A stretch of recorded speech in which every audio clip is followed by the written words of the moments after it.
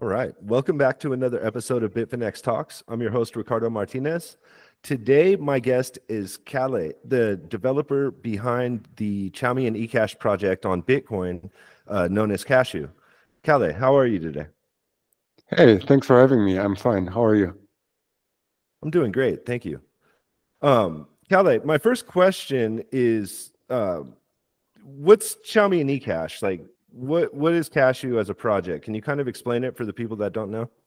Yeah, of course. So uh, Cashu is a Chaumian eCash system for Bitcoin, and it's built on top of Lightning, basically. So what it allows you is to build uh, custodial Bitcoin wallets with almost perfect privacy. So it's an open protocol.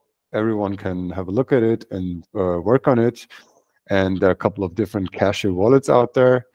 Cashu.me or nutstash.app are the two ones with a graphical user interface. And there are a couple of Mint implementations, uh, which we'll be probably explaining in a bit. So Cashu is open protocol to build Lightning-enabled uh, Bitcoin wallets that give you perfect privacy. Okay, thank you. When you say it's built on Lightning, what do you mean by that? So um, the way it works, maybe maybe we'll we'll get back to what eCash is first, and I'll, I'll explain that, and that will make it easier to understand how it interacts with Lightning. Right? Is that okay? Okay. Yeah, so. Okay, so uh, eCash, eCash itself is a scheme from 1982. It's a very old thing from David Chaum, which was first invented in the 80s, as I said, and it's using something, uh, a piece of cryptography that is known as blind signatures. So what it basically allows you, and uh, I have to say that this is this is so early. This was this is considered historically the first cryptocurrency. Basically, in history was 1982. So what this allows you is, and this is very foreign from what we know uh, in Bitcoin. It allows you to build a payment system that does not use a blockchain, so it's not a decentralized service uh, or system that runs uh, out there and you hold your keys and you sign transactions and so on, everything that we know from, from blockchains. But on the contrary, there's a central server that it doesn't know how much you have and who you're transacting with. So that's the perfect privacy part. And that server makes sure that eCash cannot be double spent. So while not being able to know what the users are doing, it still makes sure that the eCash that the server is issuing to its users cannot be double spent. And with that, you can build uh, wallets, right? So first of all, the eCash itself is completely separated from Bitcoin. It doesn't have anything to do with it directly. But um, so now that we have Bitcoin, in my view, we've discovered kind of the internet, uh, the money of the internet, the native currency of the internet. And so in the last couple of years, this, this resparked this interest in eCash. And there are now a couple of projects that really look into eCash. How can we make use of this in the Bitcoin, in a Bitcoin world? So back to my uh, previous question, when you say it's built on Lightning, like how, how mm-hmm. does it interact with Lightning? How does the Chaumian eCash from the Mint um, interact with with Lightning? Yeah, so that's a good question. So the user experience for a user using uh, Cashu will be the following. So you open up uh, your wallet. It looks like very normal, ordinary Lightning wallet. In the best case, the user wouldn't even in, wouldn't even know that they are actually using an eCash wallet or an eCash enabled wallet. It feels like a normal custodial Lightning wallet. So what you do is you open up your wallet and then you say uh, receive invoice, which is, you know, as we know, it's the way to receive money, Bitcoin over a Lightning wallet you say receive invoice, and what you see is that, there's an invoice that you have to pay with another wallet. Uh, what happens in the background, though, is now uh, the invoice wasn't created on your phone, but it was actually created by this Chaumian Mint that your phone is connected to. And this Chaumian Mint has a Lightning node. And once someone pays this invoice, what the Mint does is then it generates eCash, which is a piece of digital data that it then sends to your phone. So basically, your phone exchanges this Lightning payment into the Mint against eCash that it gets from the Mint. And that way, then you hold eCash in your wallet. And instead of the server having a concept of, for example, you as a user holding a certain balance or something, it issued you something, a piece of digital data that literally represents the money it is supposed to represent. So let's say if you if you receive an invoice for 100 satoshis, you will get eCash worth 100 satoshis from the mint with the kicker that now if you want to pay with Lightning, pay you know out uh, another wallet on the Lightning network, what you then do is you take the eCash that you got before somehow, and you go back to the mint and you ask the mint to make a Lightning payment for you. So you say, "Hey Mint, can you please pay this invoice that I want, you know, pay a friend's coffee or something?" You send the mint the invoice, and then the mint says, "Okay, you want me to pay this, but you have to give me eCash for that first to prove that you actually are eligible for this uh, payment." So you send the mint the eCash, give it the invoice, and then the mint just makes the transaction for you. The most important part of everything that I just said is that this initial process when I created the eCash, you know, by paying into the mint, versus when I exit the mint by giving the eCash back to the mint and requesting a payment, these two events cannot be correlated to each other. So the mint doesn't know that the eCash it gave to me in the first place was the one that I gave it back. That's how blind signatures work. It's a cryptographic magical scheme, basically, and that gives you these fantastic privacy properties of eCash.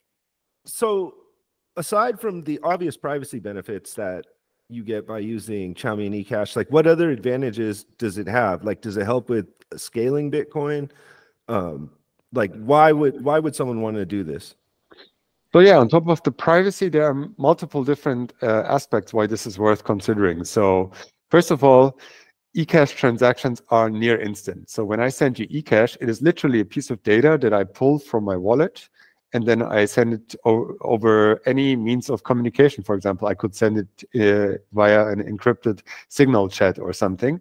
So that means that the money, when it leaves my wallet, it basically instantly reaches you and you take it and you send it to the server once to make sure that uh, it cannot be double spent but that's then the end of the transaction. So it is uh, not only much more private, but it's instant and it is basically zero fee because it really doesn't cost anything to move the eCash from one place to another. Uh, actually, the server itself isn't involved in the moving the eCash. That's our job as two users, basically.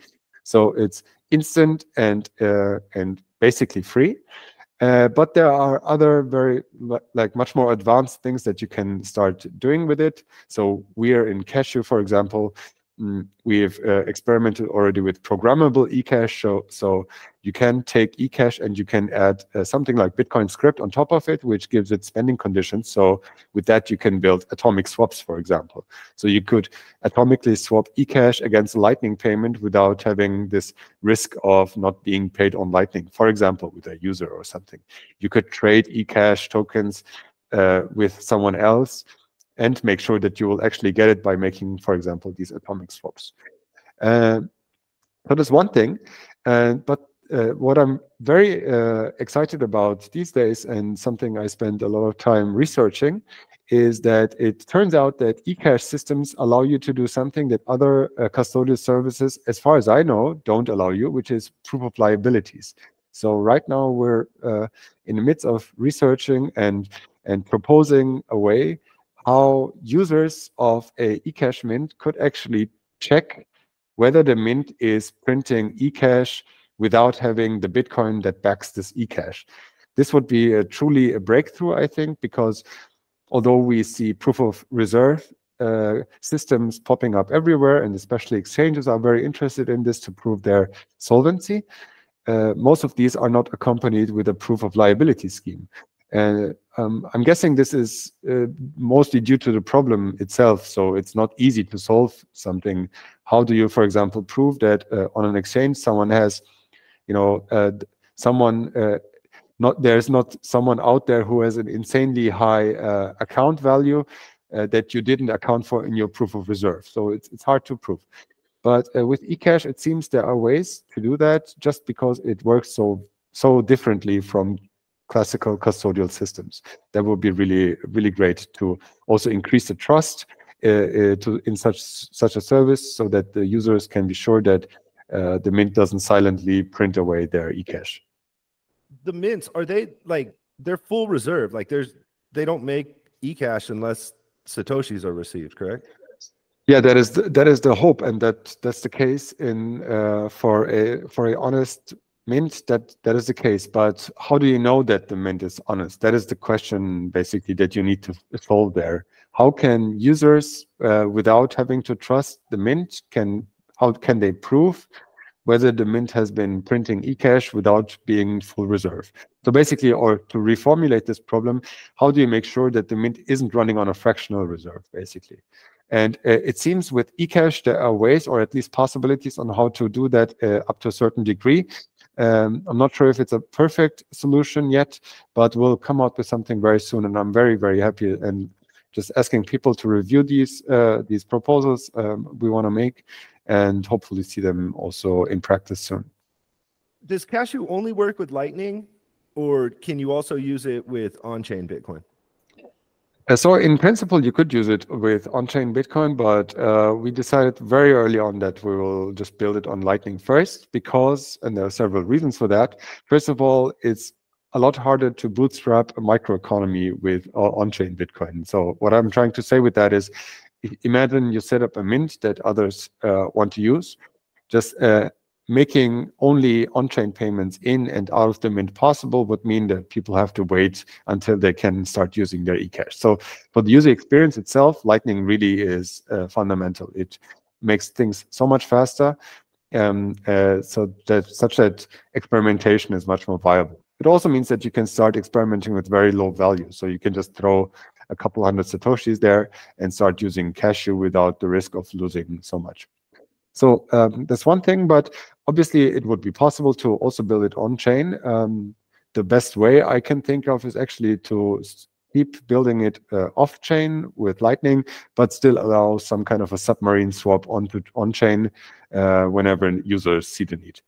Uh, especially uh, when you think about proof of reserves ideas, there are no ways to really make a proof of reserve on Lightning yet.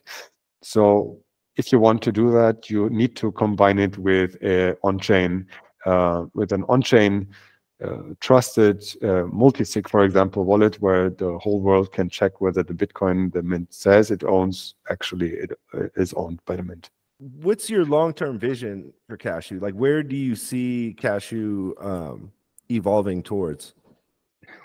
So uh, one obvious application of this is, as I said, to make Lightning wallets, but I don't think that this is where it stops. So uh, it would be the the path of least re uh, resistance would be uh, becoming a Lightning wallet provider that can just offer this uh, insanely important feature to its users, which is the perfect privacy feature, something that you could uh, be, you know, really stir up the market, basically. But uh, I see many more avenues where Cashu can shine. So because Cashu is an open protocol and we've really tried to keep it as simple as possible and to as performant as possible, it means it can be uh, deployed in a very wide range of applications. So you can run a Cashu Mint inside a single website, basically, and you can have a Cashu wallet that runs as a JavaScript snippet in your front end. That means you can have the, the properties of eCash, for example, with any uh, website out there that gives you some kind of a Bitcoin balance. Imagine Stacker News, or imagine a website with paywalls where you uh, need to pay for each article that you want to read, and so on. So there are many, many uh, examples out there where users already uh, opted in to get a balance on that website and then keep using the website. And with Cashu, you have the ability to build these systems such that you don't track and you cannot track what the users are doing with their money on the on your website. This is a, a great value proposition, I think, especially for consuming media. This will be uh, very, uh, very uh, fruitful.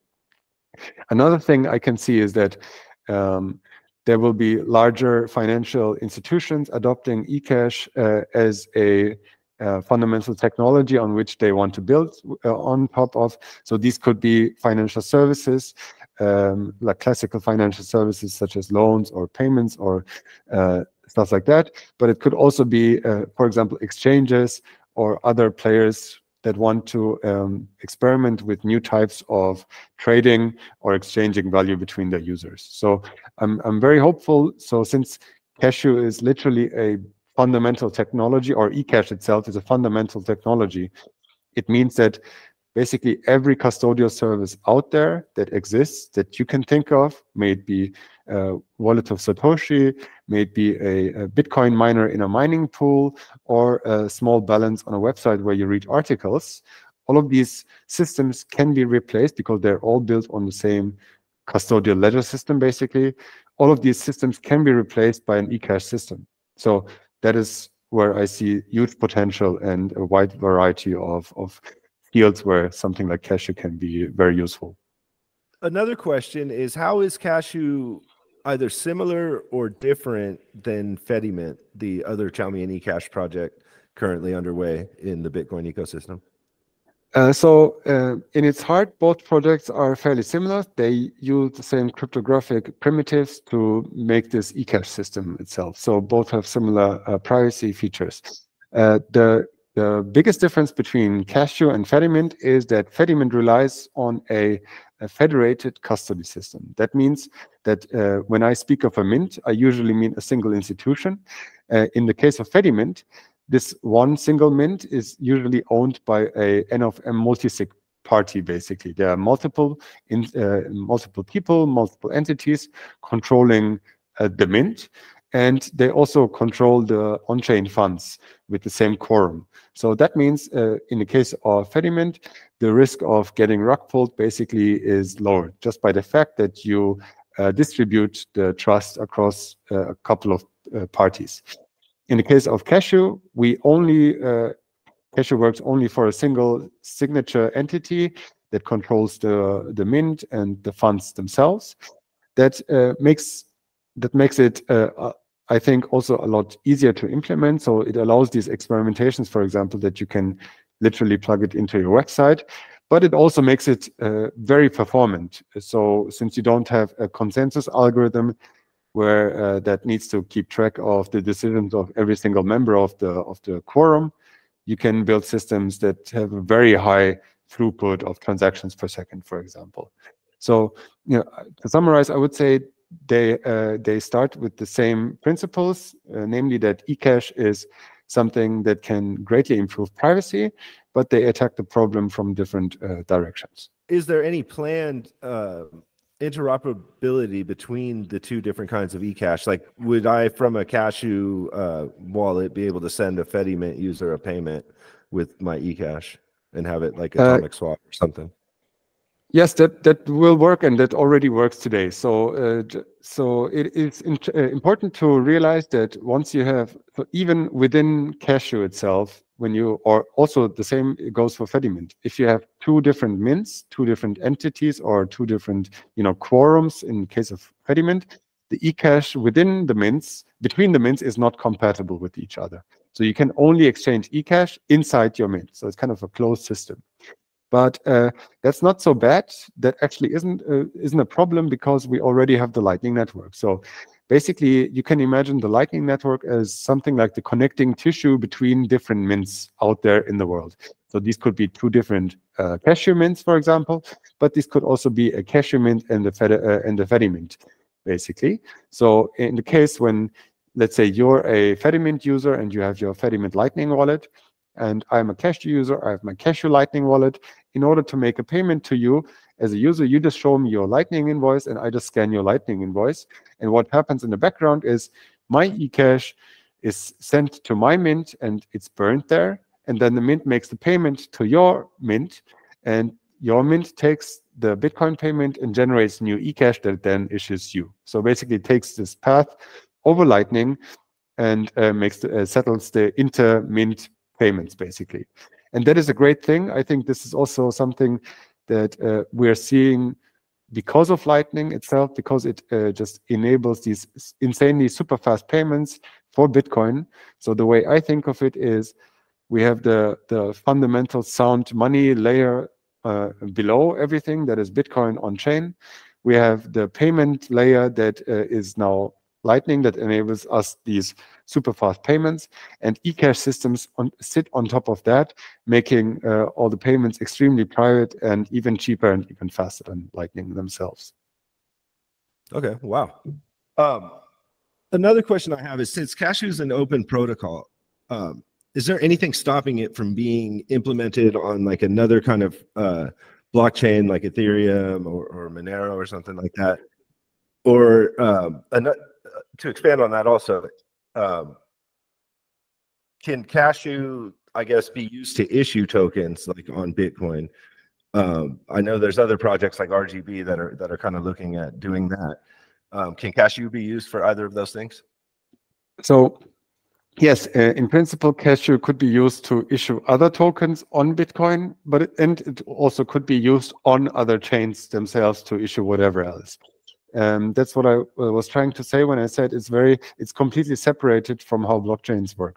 Basically, the the most high level and generalized way of looking at Cashu would be it's a different way to make an accounting system themselves. So it's basically replacing classical accounting, ledger-based accounting systems where you need to store the user's data.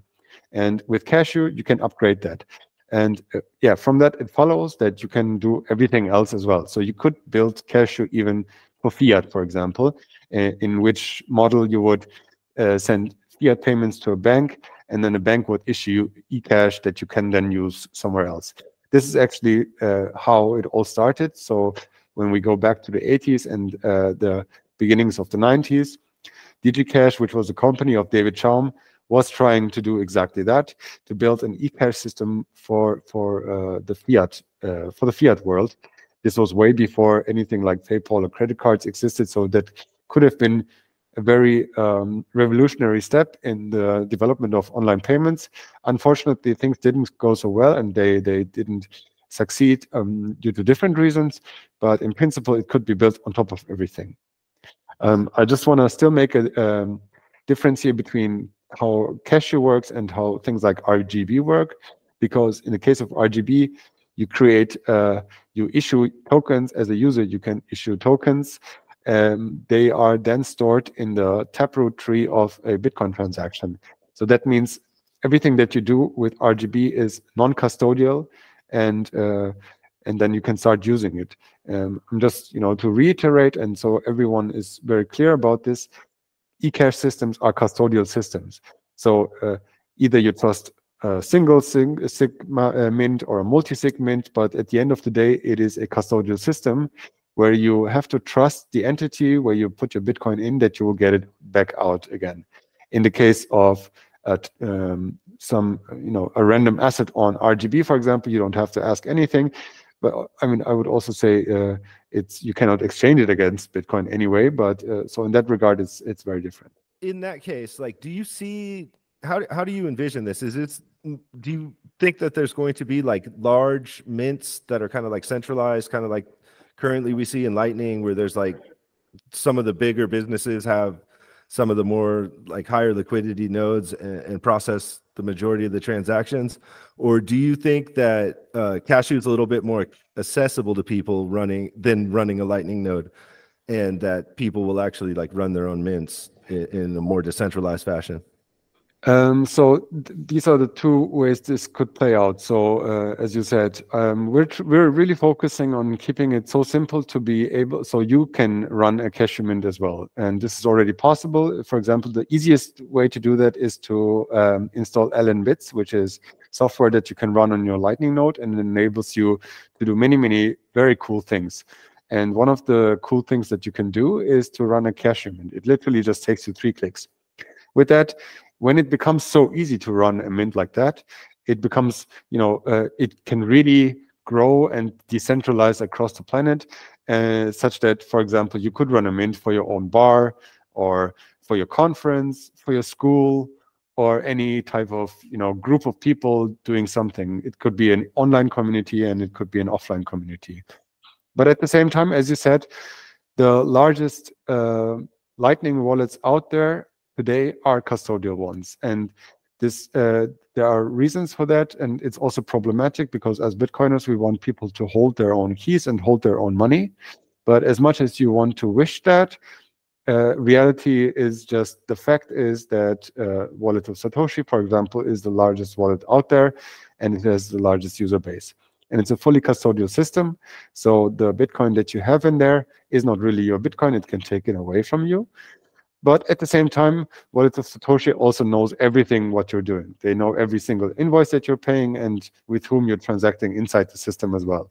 So, and uh, I mean, they need to do it. That's how a classical ledger system works. Otherwise, you cannot build a ledger. And uh, so I see also possibilities for very large applications like that. For example, Wallet of Satoshi to adopt a protocol like the Cashu protocol in order to offer more private services to their users. Uh, I can also, as I uh, said before, see that uh, fin like financial services that are not wallets uh, will also start looking into this and might be interested in playing around with eCash. Yeah, I think that's a big barrier for like mainstream adoption is, is the lack of privacy um, with on-chain Bitcoin transactions.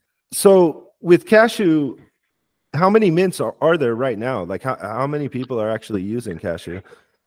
Uh, it's hard for me to say, so I don't know. Uh, anyone can run a mint. Um, I just know that you know one statistics I looked at was from the LNbits demo server, where you could where you can do what I just described. Basically, it's uh, one demo server that everyone can just play around with to test LNbits, and on there alone, there were last time I looked more than 300 mints already running. Uh, and that's that's a result of making it as easy as possible. So basically, I can imagine most of these are people testing Cashu and playing around with it, maybe developing on it, uh, but I can't really uh, say. And the funny thing is, they can't also know what the users of those mints are doing. In that regard, also, it's important to stress that people should be very cautious about uh, the mints that they choose because um, they literally custody your money. So you should only choose a mint where you know that this mint is trusted. E either it's from an institution that you uh, that you trust, or it's from your personal circle of people, for example, that you know and can can hold accountable. So in that regard, um, you should uh, be a bit cautious, but uh, still the playing field is now more level than ever before. So everyone should still experiment with these things and start building on top of it. Uh, my last question is: At what stage um, is Cashu currently at right now? Is it safe for like people to to use with real money, or is it still kind of in its like reckless stage? Um, it is still in its reckless stage because Cashu, the protocol itself, the project is only half a year old, and we've done some, we've uh, achieved some astonishing things in this very short amount of time. So uh, there are four different wallets out there already, and the fifth one just started. Someone started working on the fifth one uh, now recently. So I'm very optimistic that we will get even better software in the future. Um, but there are also uh, some details in the protocol that we're still uh, trying to iron out. So one of the things that we're working on literally right now is a way to hold safe backups for your tokens. So uh, in in the current uh, clients that you have, you have a backup option, but uh, you you have to make the backup after every transaction. Basically, very similar to Lightning, where you need to back up all the eCash in your wallet and store it somewhere, such that if you lose your device, you can restore it. Um, in the future, uh, we already figured out how to do it. It will be possible to just write down a single seed phrase, and from that seed phrase, you'll be able to recover your funds. So, in that, uh, when we reach that point, I think Cashu will become a lot more safe to use. And additionally, as I said before, we're working on this proof of liability scheme. And these things combined together, I think the proof of liability scheme, uh, especially, will uh, enable Mint providers, Mint runners to um, increase the trust that the users have in them. And I think we'll very soon be on a, at, a, at a point where I can also recommend Cashu in daily, daily use. So that said, if you're a developer and you got interested in this, please have a look at it. Uh, it is you can play around with it with a couple of satoshis. If you're a user and you got interested in as well, just use small amounts to get a uh, feeling what eCash is and what the cypherpunk future uh, will look like. So you you made a call to action to developers to get involved. Um, how could they do that? Like, where is the Cashu community gathering to discuss things? Um, so you can head over to cashu.space. That is uh, our website where you will find information about what Cashu is. And there's also a documentation website with more information. In there, you will find many different libraries that people have written already that enable you to build a Cashu app very easily. There is the Cashu GitHub repository that you'll find as Cashu BTC. That's the GitHub user. And otherwise, you'll just you can just ping me at any time. I'm Calle BTC on Twitter. Uh, my DMs are open. Just write me if you're interested to contribute to Cashu or literally to any other Bitcoin project out there, I urge you that you should start looking into Bitcoin development. We literally need every single developer out there. And if you're interested in Cashu specifically, just write me a message and uh, I'll show you how you can contribute. Okay. Thank you so much for joining us on the show today and um, giving us such a great explanation about Cashu. Thanks, Ricardo. Thanks for having me.